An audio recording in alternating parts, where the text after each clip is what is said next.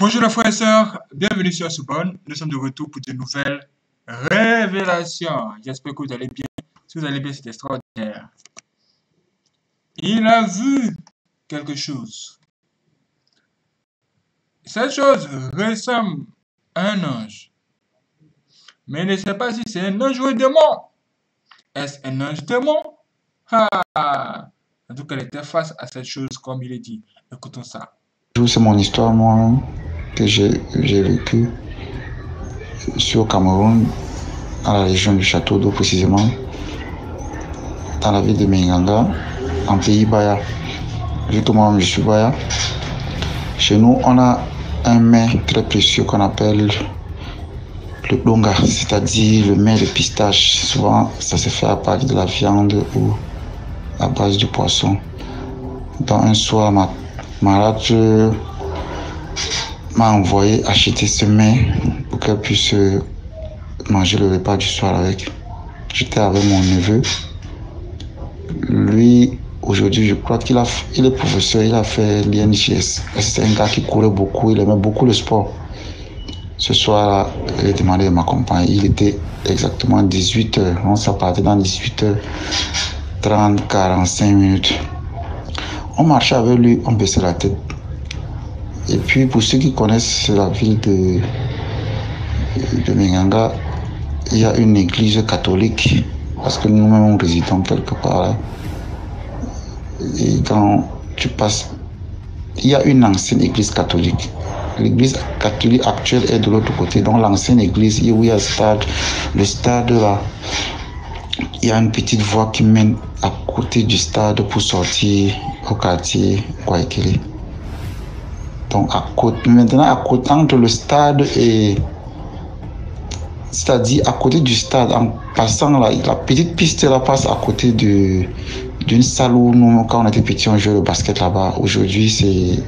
La salle, bon, c'est déjà délabré. en tout cas, ce n'est plus utilisable. Donc, quand on passait donc avec mon, mon neveu, quand j'avais 15 ans, je me rappelle très bien, je n'ai pas oublié cette histoire. On baissait la tête, on causait, on passait sous le manguier, là, comme il faisait déjà noir. Moi, présentement, j'avais, euh, euh, je peux dire quoi, le jour-là, j'avais peur, mais je ne voulais pas le dire, comme il était un peu plus grand que moi, je masquais ça. On causait, on causait, puis on marchait vite, vite, vite. Arrivé donc près de la salle où on jouait le basket, là, on aperçoit un être étrange.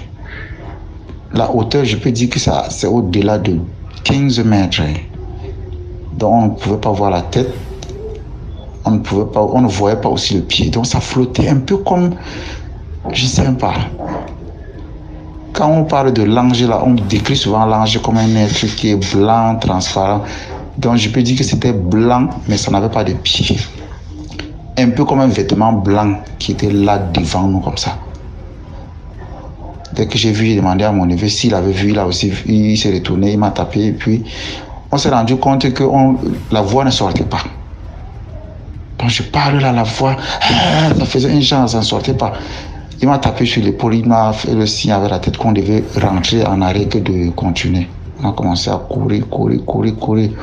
Maintenant, entre la salle de basket là et l'ancienne église. En revenant pour rejoindre le goudron, vous allez voir qu'il y a une statuette là qu'on a fait là-bas. Il y a la croix. Dès qu'on est arrivé au niveau de la croix là, on a commencé à crier, crier, crier, et puis la voix est sortie, a commencé à sortir. Donc, je me suis rendu compte que je courais même seul parce que lui, tellement qu'il courait vite là, il est, il est arrivé à la maison. Il est parti, reparti directement à la maison.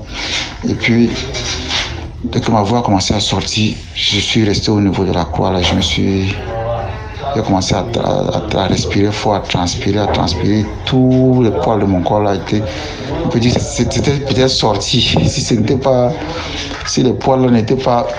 Si j'avais les poils, ça veut dire que mes poils n'étaient pas étaient cachés. Mais ce jour-là, vraiment, j'ai eu la chair de poule, tout ne pas sortir, les cheveux, tout était levé, un peu comme tu vois quand le, le, le chat s'approche du chien, là, un peu comme ça. J'ai commencé à transpirer, mon cœur battait. J'ai commencé à pleurer seulement, c'est comme ça que je suis reparti à la maison. Arrivé au niveau du goudron, je vois mon neveu là qui revient qui revient de la maison avec mes autres frères, avec la torche, ils venaient me chercher. C'est là où on commence à les expliquer, mais ils disent qu'est-ce qui s'est passé, qu'est-ce que vous avez vu? Voilà que l'autre est transpiré comme ça. Arrivé à la maison, on les, a expliqué que voilà,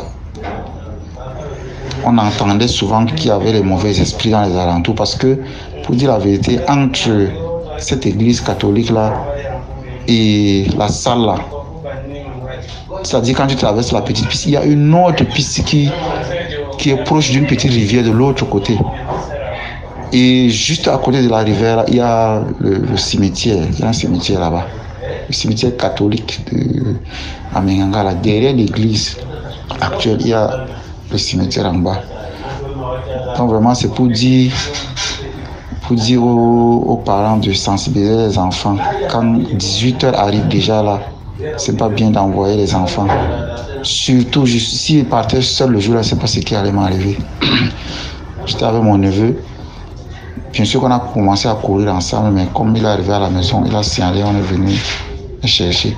Donc c'est quelque chose que je n'ai pas pu oublier.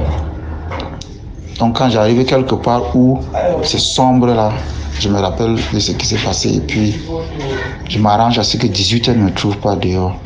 J'ai toujours ce sentiment que ces mauvais esprits-là, si quelqu'un se balade et que 18 heures trouve la personne dehors, c'est une heure que je peux dire que c'est une heure qui n'est pas conseillée pour que les parents laissent les enfants sortir ou se balader ou qu'on envoie les enfants à cette heure-là.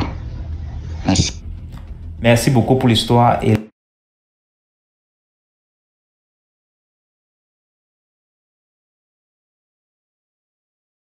je tiens à vous raconter cette histoire qui est la première histoire mystique que j'ai vécue à mon enfance.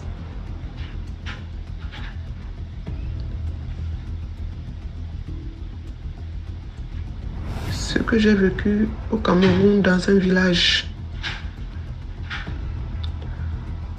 C'est un village où ma mère vivait.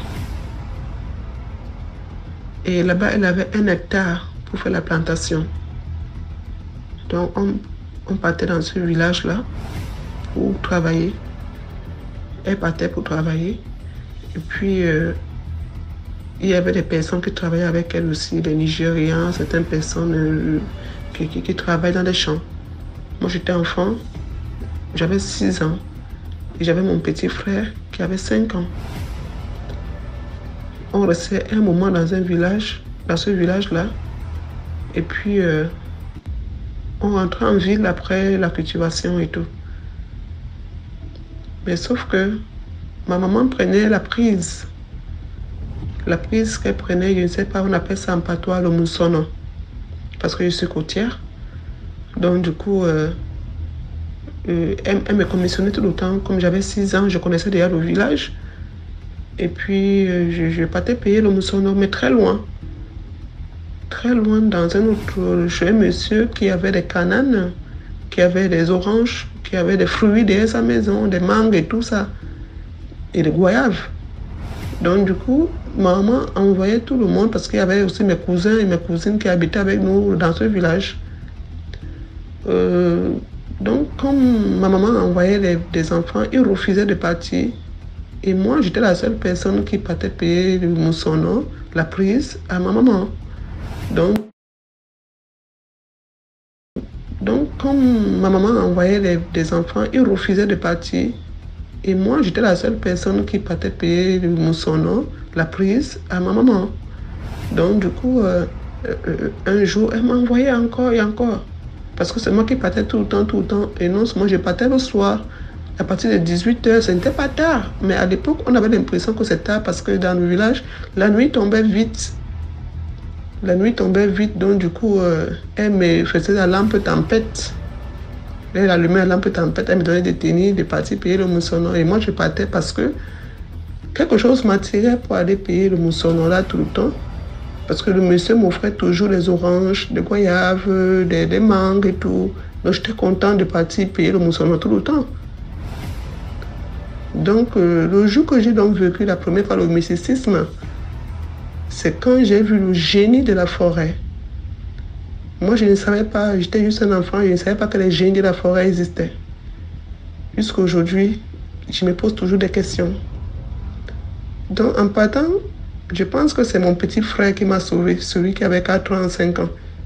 Je pense que c'est lui qui m'a sauvé. Parce que s'il n'était pas avec moi ce jour, comme par hasard, il voulait euh, euh, m'accompagner ce jour. Alors que très souvent, je vais seul pour payer le mousson. Mais par hasard, ce jour, il a dit qu'il vient avec moi. Je pense que si mon petit frère n'était pas là, c'est que je ne suis plus de ce monde.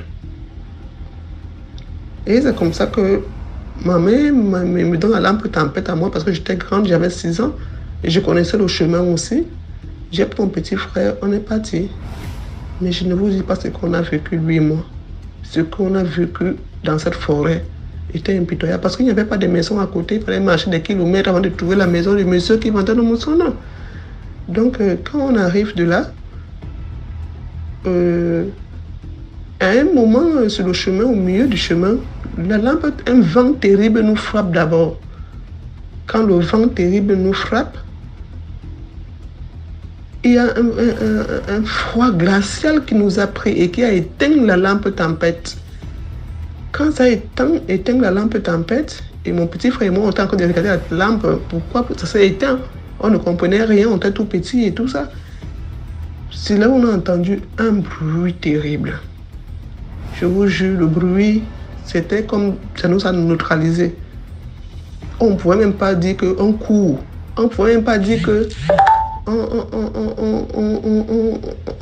on, disparaît. On ne pouvait rien faire. On était comme neutralisé, bloqué sur place. Et on regardait du côté où le bruit venait parce que le bruit était un genre. Et il faisait un noir pas possible, il faisait un noir sombre. C'est-à-dire, on ne voyait même pas. Mais un moment, on voit une personne géante qui est en train de sortir de la forêt. La personne était d'une longueur impossible. Il était mince, avec un petit chapeau, avec un grand gandoura noir. Mais tout l'obéissait. Ce qui me marque, c'est que tout obéissait à cette personne les herbes de Soussongo, qu'on appelle au Cameroun Soussongo, s'écartaient toutes seules pour qu'il passe. Donc il ne faisait même pas d'effort même pour écarter les Soussongo devant lui. Les Soussongo s'écartaient, lui servaient le chemin. Même des arbres lui servaient le chemin pour qu'il passe. Monsieur, je vous dis, on regardait comme si on était neutralisé. Il était tellement en haut, géant et tout. Mais quand il est arrivé devant nous, il n'a pas bronché. Il nous a regardé. Mais on n'arrivait pas à distinguer son visage. Il est noir lui-même. On dirait noir, une personne comme, comme, comme un bout de charbon? Il nous a regardé d'un coup. Après, il a continué son chemin. Avant qu'il arrive de l'autre côté de la route, les sous-songos qui sont là-bas de l'autre côté se sont écartés seuls pour qu'il passe. Tout l'obéissait. Je suis sûr que depuis ce jour, si mon petit frère n'était pas avec moi, ce diable me prenait. Et depuis que j'ai commencé à voir ce diable, ça n'a pas arrêté. C'est enchaînement sur enchaînement parce que j'ai grandi. mais jusque-là, on n'a pas eu peur. J'ai tiré mon petit frère qu'on peut prendre au mousson.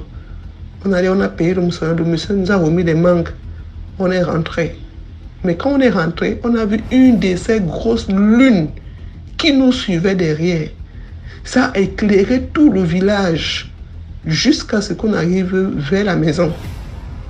Cette lune était énorme lune. C'était la première fois que je voyais une lune énorme comme ça. C'était proche de la terre. Ça nous illuminait toute la route jusqu'à ce qu'on est arrivé chez ma mère à la maison. Et j'ai dit ça à ma mère. Elle m'a crié dessus. Elle me dit, tu ne parles plus comme ça. Tu arrêtes ça. Tu ne dis plus ça. Et je n'ai plus jamais dit jusqu'à ce que ça a enchaîné encore et encore que j'ai encore à vous raconter. Merci. Merci beaucoup.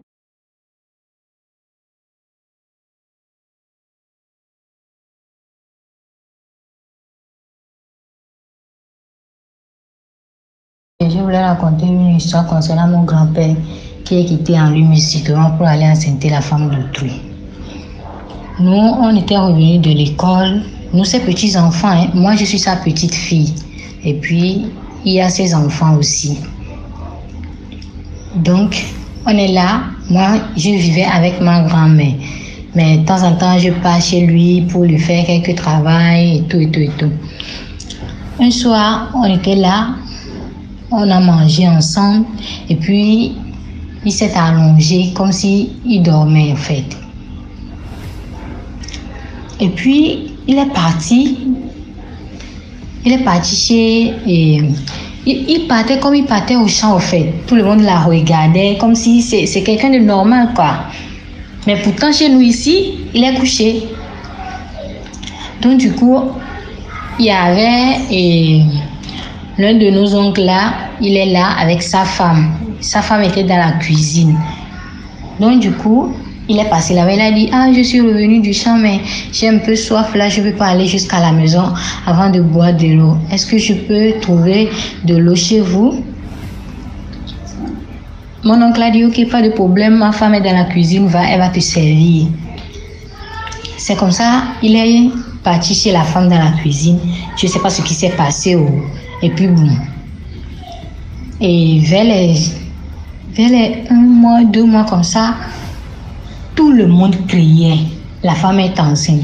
Tu es enceinte de qui? Son mari dit, je n'étais pas enceinte.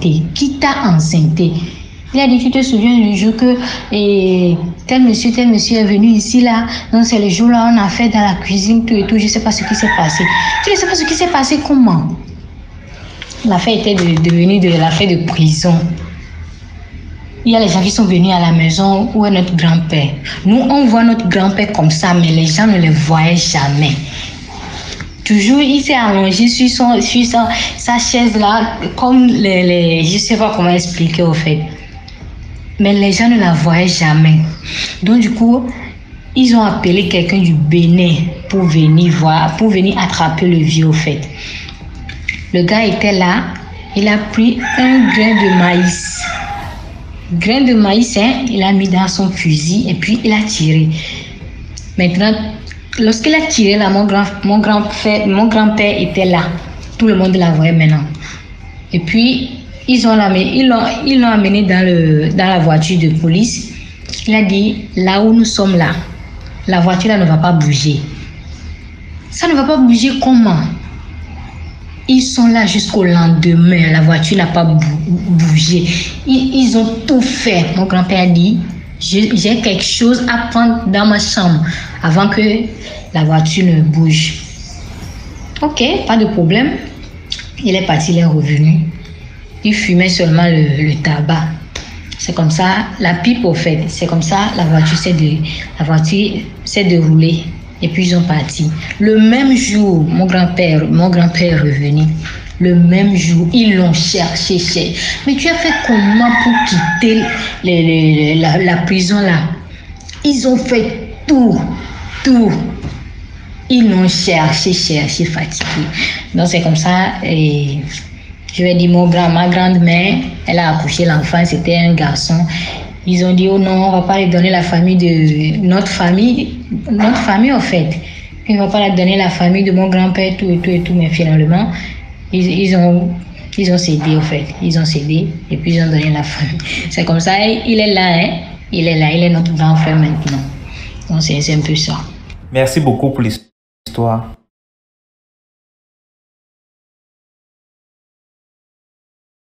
Mon histoire du jour concerne mon oncle, Alain, qui, euh, quand euh, il a décidé de se, de se marier, a, a épousé une femme qui n'était pas du même ethnie que, que, que ma, comment dire, que lui, donc de ma mère. Et euh, ce qui s'est passé, c'est que quand cette femme est venue en mariage, il y avait déjà quelque chose, comme elle était, euh, sa tante était mariée aussi dans le même village que, que mes grands, mes grands-parents, donc du côté de ma mère. Elle avait un problème de stérilité, elle n'avait pas fait d'enfant. Et quand euh, sa nièce est venue euh, se marier avec mon oncle, donc euh, ça se disait déjà qu'elle était stérile, qu'il y avait euh, y avait un problème de stérilité dans cette famille.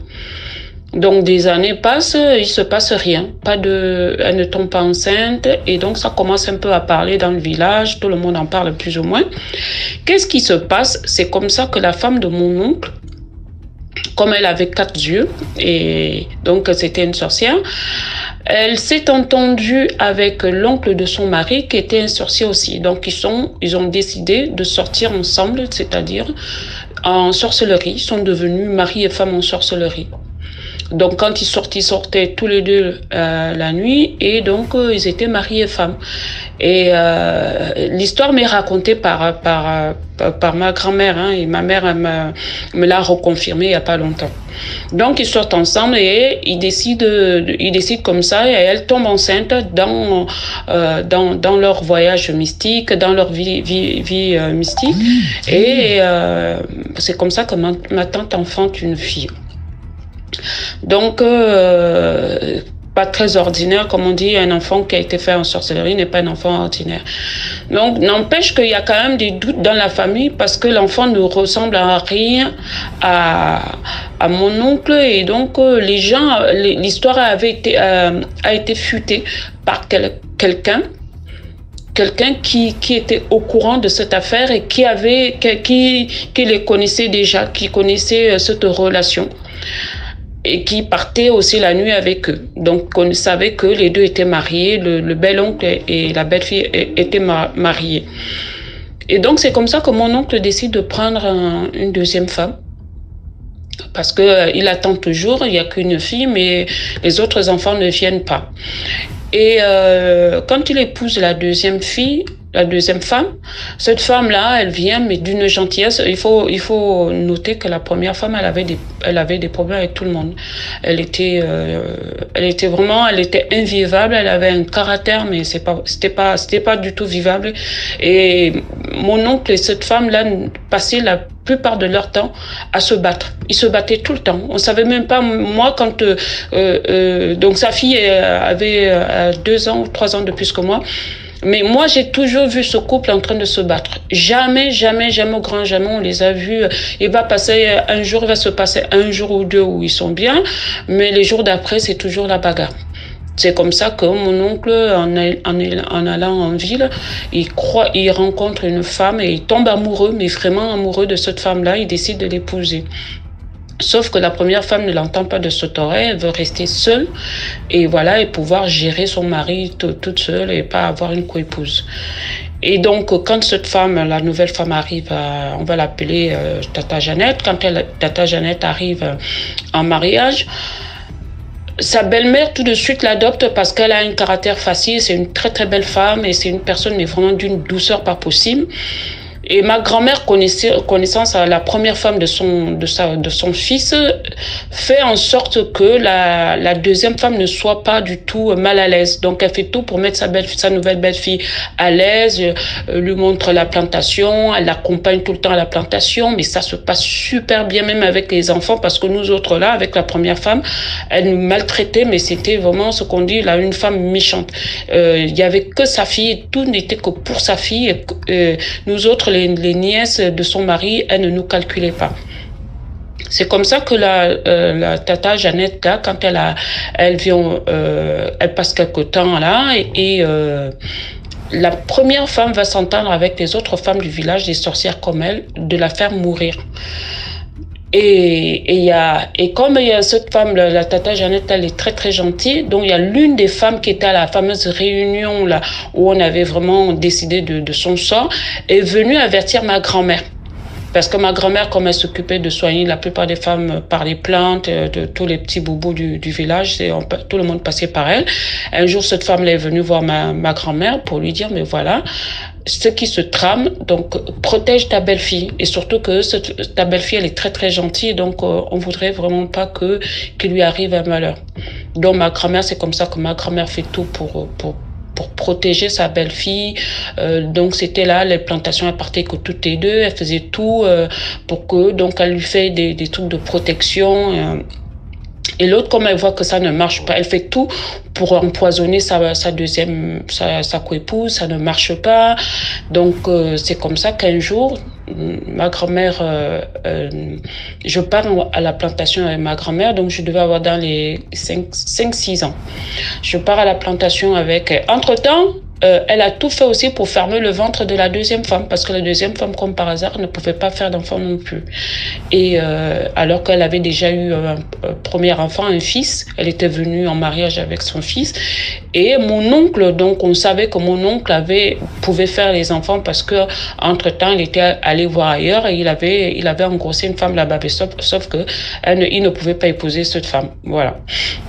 Donc c'est comme ça que euh, on se retrouve, on part donc ce jour-là, on part à la plantation. Ma grand-mère, euh, Tata Jeannette et moi, on part à la plantation. On arrive à la plantation, on est en train de, travailler. Comme j'étais gosse, donc euh, je ne tenais pas en place. C'est comme ça que la Tata Jeannette, elle, euh, elle fait, elle avait fait un, un, petit feu là pour pour la nourriture, pour pour tout, pour cuisiner et réchauffer la nourriture. Elle fait un petit feu et moi j'étais juste à côté d'elle. Moi, je vois bien comment un serpent arrive derrière elle, sauf que je suis complètement paralysée.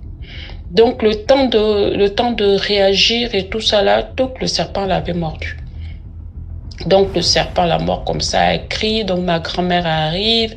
Euh, ma grand-mère était de l'autre côté de la plantation. Elle arrive là-bas. Elle euh, elle essaie de trouver le serpent. On ne trouve pas. Donc ma grand-mère prend vite les plantes, elle, euh, elle, elle, cherche vite les plantes, elle lui fait un carreau, elle fait tout le possible pour sauver la vie de, de Tata Jeannette. Euh, on est que toutes les trois à la plantation. Mon oncle n'est pas là. Comment faire pour l'alerter? C'est comme ça que que ma, que ma, ma grand-mère décide vraiment de, de, de, de, de tout faire pour trouver un voisin de plantation pour pouvoir euh, transporter sa belle-fille jusqu'au village. Et elle me laisse avec, euh, elle me laisse donc la tata Jeannette, elle ne peut même plus poser le pied au sol, malgré le carreau, elle peut pas poser le pied au sol, le, pied commence à gonfler à vue d'œil. C'est comme ça que elle nous laisse toutes les deux, elle court euh, à appeler euh, du secours on est encore, on est, on est là, la pauvre commence à transpirer et tout. Donc moi de mes yeux, hein, de mes yeux d'enfant, je la voyais vraiment comme elle était très très claire de peau. Donc son teint commence à changer de, de couleur. Et là, on est toujours là. Le même serpent revient. Et le même serpent revient, comme moi je suis une jumelle, donc apparemment ce qui s'était passé au dire de la, tante Jeannette, c'est que quand le, le serpent est revenu, moi je me suis mise à siffler. Je me suis mise à siffler et en sifflotant, le serpent a commencé, quand, quand je sifflais, le serpent a commencé à se dresser.